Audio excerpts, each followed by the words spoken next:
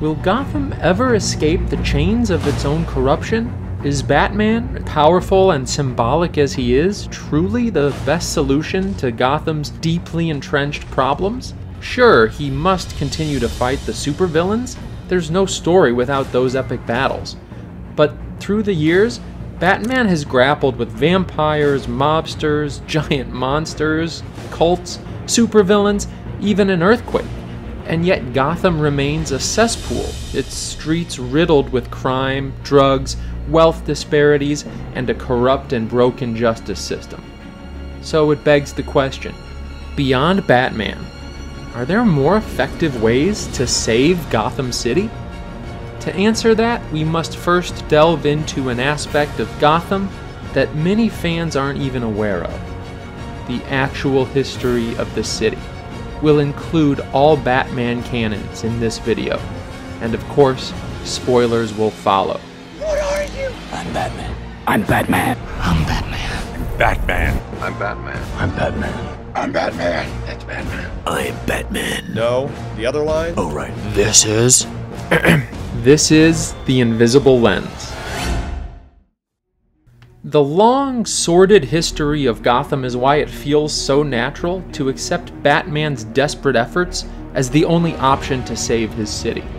According to legend, prior to colonization, an evil warlock, Dr. Gotham, was captured and imprisoned in a tomb under what becomes Gotham City. As time passes, evil emanates from the burial site, corrupting the minds of all who come near. When the warlock finally rises after centuries of imprisonment, he beams with pride at the maniacal city he's created. During the American Revolution, Gotham is the site of a major battle, and it's rebuilt by four families the Kanes, the Crowns, the Cobblepots, and the Waynes. Finally, in the 19th century, Gotham enters modernity, undergoing a period of economic growth during the Industrial Revolution. This is also when Wayne Enterprises is officially founded. What begins as a dozen merchant businesses becomes one of the biggest companies in the world. Then the Great Depression hits. Crime rates and overall suffering surge, and during that time, Batman emerges. But the city never shakes its economic strife, as the Depression brings about a permanent rise in violence and crime, as it did in many real American cities. Gotham's infamous alley of crime, the Narrows, calls to mind Skid Row in Los Angeles, in the way the poor and the homeless are funneled there, perpetuating vicious cycles of violence. And Gotham is outfitted in Gothic and Art Deco architecture, much like Chicago. Other aesthetic features, like Chicago's elevated trains, iconic Lower Wacker Drive, where scenes from Batman were actually filmed, and narrow alleyways, give the Gotham we come to know a rhythm and a darkness that heighten the drama that takes place there. But Chicago is more than the inspiration for Gotham's physical layout. It also inspires the political and socio-economic landscape of Gotham City. So, if we're trying to save Gotham, and if Gotham is based on Chicago, we must look at what plagues the Windy City. For starters, Chicago is deeply stratified along socio-economic lines. Chicago's north south divide is infamous, as are its history of zoning and redlining policies that have resulted in its countless stratified neighborhoods. For example, the development of high rise apartment buildings was almost entirely brought to a halt by a wave of zoning laws in the 70s and 80s. That led to the modern day, fantastically wealthy neighborhoods of Old Town, Lakeview, and Lincoln Park. Gotham's upscale neighborhoods include Gotham Heights, Burnside, considered the most stylish neighborhood in Gotham, and Old Gotham, where Solomon Wayne, Batman's great great great grandfather, convinced his fellow businessmen to build their headquarters. Did those neighborhoods enact exclusionary zoning policies to keep out undesirables, just as Chicago neighborhoods did? Well, that's what Solomon Wayne alludes to in a famous speech to the Property Holders Association. What is a city, gentlemen? A sanctuary, a stronghold, a fortress, a bulwark against the godlessness of the wilds wherein we may be protected from the savagery which lurks. Just as many areas in Chicago were disinvested and left to decay, in Gotham, the Bowery, East End, and the Narrows face the same fate. And these areas breed crime, begetting a dangerous and dark cycle of violence. The Narrows specifically is the dilapidated neighborhood in which the infamous Arkham Asylum is located, where Ra's al Ghul began his assault on Gotham, and where Bruce's parents die in Christopher Nolan's interpretation. So, to save Gotham, the kinds of real life policies like zoning enacted in Chicago must be eschewed. Developers and property owners must be able to find new areas of opportunity to build there and to attract private investments and funding for things like security, housing, commerce, and infrastructure. This problem does not need a Batman to fix. It's a real world political one. And in fact, Bruce Wayne could lead the charge to invest in underdeveloped or crime ridden neighborhoods of Gotham. It would be a start to the revival of the city's downtrodden neighborhoods, and removing zoning power from the hands of Gotham's public officials would cut down on another problem that plagues the city corruption. Gotham police obviously cannot be trusted. We see it throughout the canon. In Batman Begins, for example, the mob controls police officers and judges, as well as unions and the mayor, and yet because the police still have a monopoly on the use of force, it takes Commissioner Gordon going rogue to get anything done. In The Dark Knight, we even hear and as Ra's al Ghul says, You are defending a city so corrupt we have infiltrated every level of its infrastructure. This level of corruption is not only rampant in modern day Gotham, it's supported by a long legacy of corruption there. The Court of the Owls is a secret council composed of the city's wealthiest and most influential citizens and families. The Court of the Owls goes back to Gotham's earliest days, the 1600s, but by the 21st century, the four founding families have waned in influence, the Wayne family being the only one to remain a power player in the city. However, Oswald Cobblepot, the Penguin, has reversed his family's failing fortunes through organized crime. He even says in Batman Returns, You gotta admit, I played this stinking city like a harp from hell! This suggests the political process cannot solve our problem, how to save Gotham City. But the conundrum goes deeper, because in a city so rotten through with corruption, it's natural for Batman to feel the need to intervene more often and at a deeper level than many of his superhero peers. Batman gets involved with street level crime far more frequently than most of them, often beating up robbers and drug dealers in the middle of the night. But there's an obvious problem with Batman's approach, and in a way it establishes him as tragic hero just as much as it does superhero. Batman's approach to crime only punishes it, rather than meaningfully preventing it. In one critical analysis, Catherine McCullough of Boston College University wrote that Batman's role as a vigilante is mirrored in the ancient Greek tragedy Eumenides, the final play in Aeschylus's Oresteia. There's this nasty catch 22. Batman seeks law, order, and justice for Gotham and its citizens, and yet acts outside the law in order to achieve it. In the most striking example, it's Batman himself who, in some ways, empowers the Joker. Here, Batman has the Joker suspended upside down, the visual opposite of himself, symbolizing how the two characters are necessarily inseparable. I think you and I are destined Like the natural duality in yin and yang. Heath Ledger's Joker even says to Batman earlier in the film, No, you. You complete me. which references a similar scene in Tim Burton's Batman from 1989. You idiot! You'll need me. Remember? And so it is that, paradoxically, Batman, Gotham's greatest hope, in many ways is also its greatest danger. So, what could he do instead? Batman must continue to fight the supervillains. There's no story without that. However, when it comes to petty crime, Bruce Wayne would be a more effective tool an agile, versatile scalpel rather than a sledgehammer. You don't get it, son. This isn't a mud hole. It's an operating table. And I'm the surgeon. Bruce Wayne could, as an influential public figure, build networks and organizations that demonstrate to Gotham's citizens how thoroughly corrupt the city's public services are. And he could use his financial might to invest in systems of security, health, education, housing, and transportation. all of which would be less susceptible to corruption. In the long run, these efforts would reduce the crime that results from, for example, Gotham's dastardly war on drugs. Where were the other drugs going? I don't know. I swear to God. Swear to me! Speaking of grassroots organizations that fight corruption and things like the war on drugs, if you feel inspired by the ideas in this video and want to take action, visit join.studentsforliberty.org. Assassinations, too, have long been part of Gotham's subculture. The Court of the Owls, for instance, employed a breed of highly trained assassins known as Talons to carry out their interests. And it's no surprise that drugs lead directly to an assassination.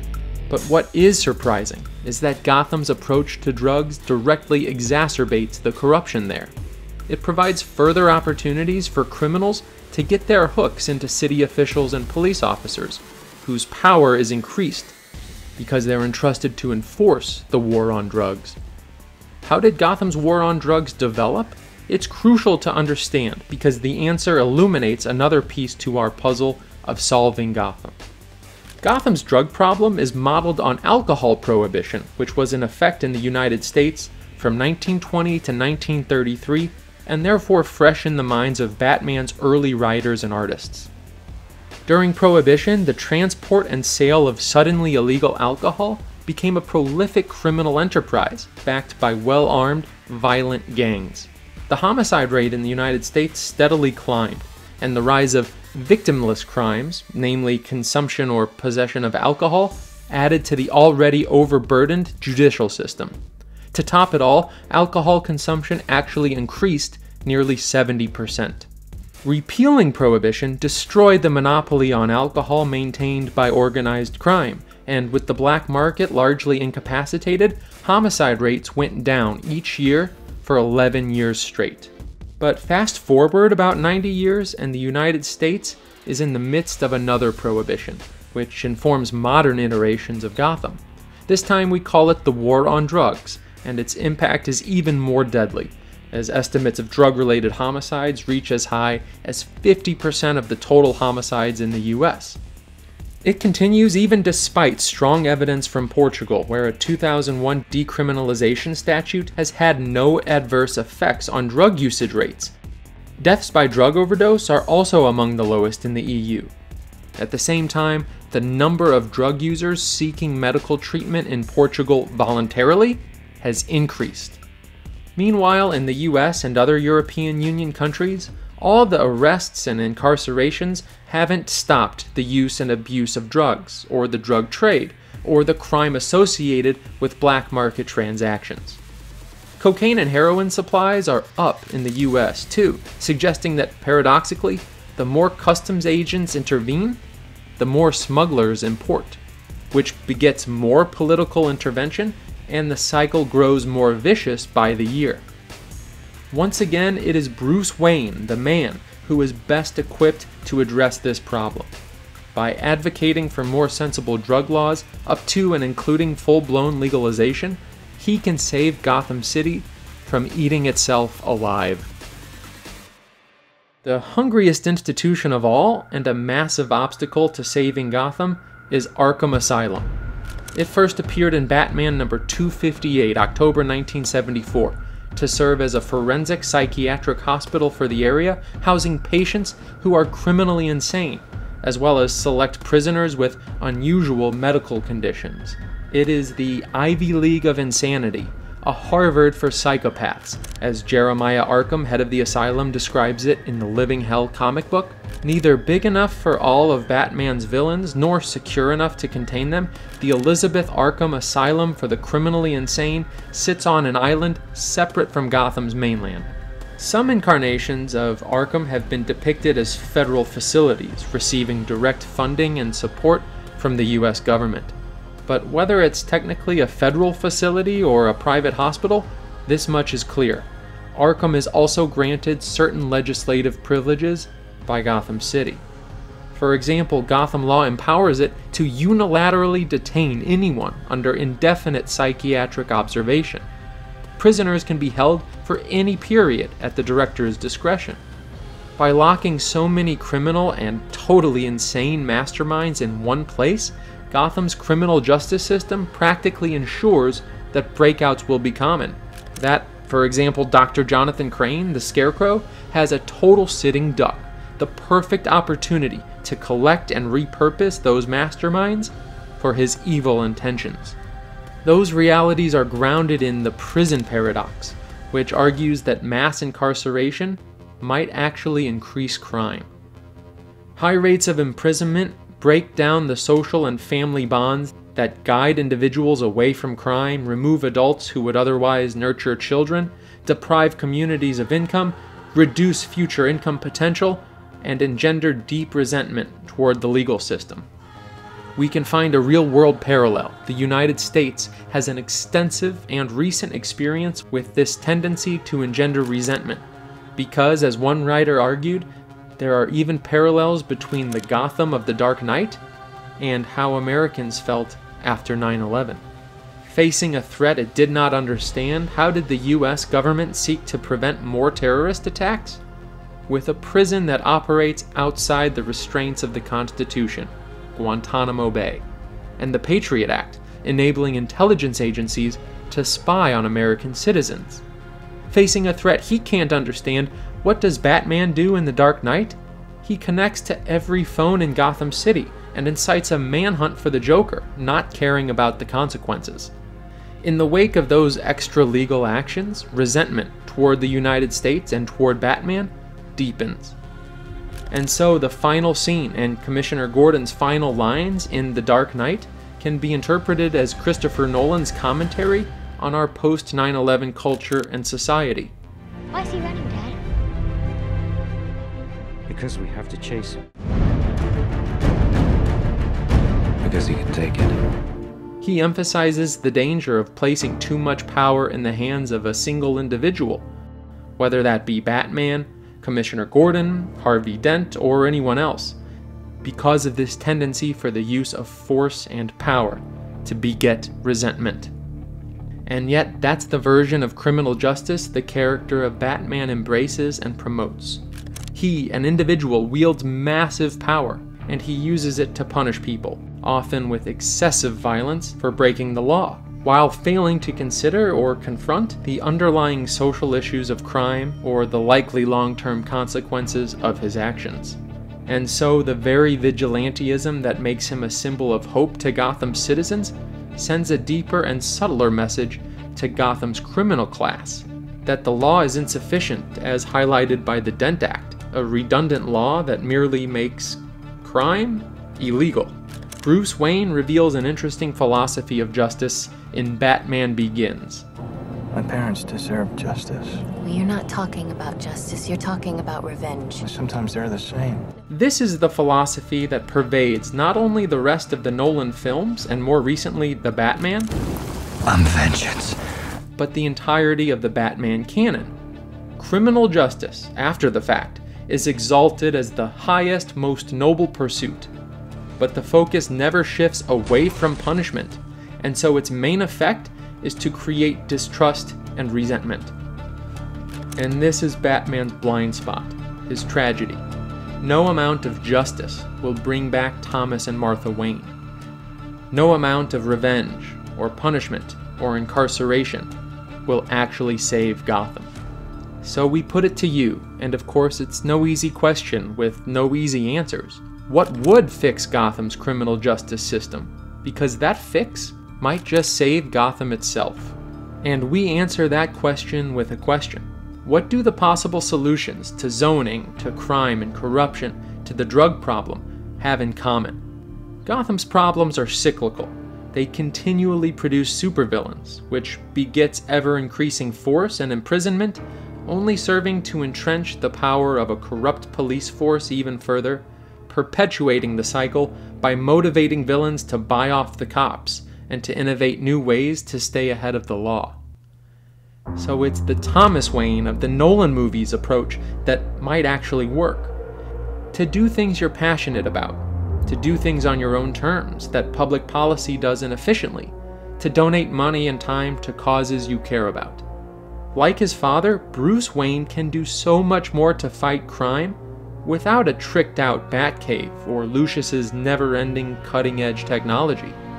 According to a study done in 2012, Bruce Wayne's net worth is $6.9 billion, by the way. While Batman must continue to jump off tall buildings late at night, respond to the bat signal, and speed through Gotham on the Batmobile in order for the story to work at all, he could focus those efforts exclusively on the supervillains who inhabit Gotham, leaving to Bruce the more effective long term route of private charitable initiatives. Initiatives that might take some of the power out of the hands of Gotham City's corrupt officials. This is the approach mapped out in Three Cups of Tea, in which a man discovers that by helping to educate women in the Middle East, who then teach their sons not to go into terrorism, he can rob terrorists of their farm systems.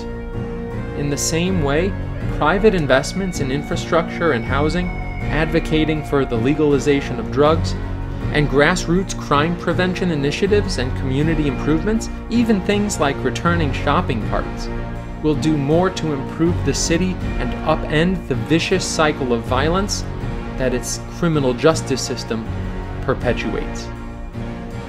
While Batman fights the Joker, the Penguin, and the Riddler, Bruce Wayne is the man to lead the charge, perhaps starting with some of Wayne Enterprises' 15,000 employees toward reducing corruption, reducing the government's influence in housing and drug policy and in criminal justice, and ultimately empowering each citizen of Gotham to do the same.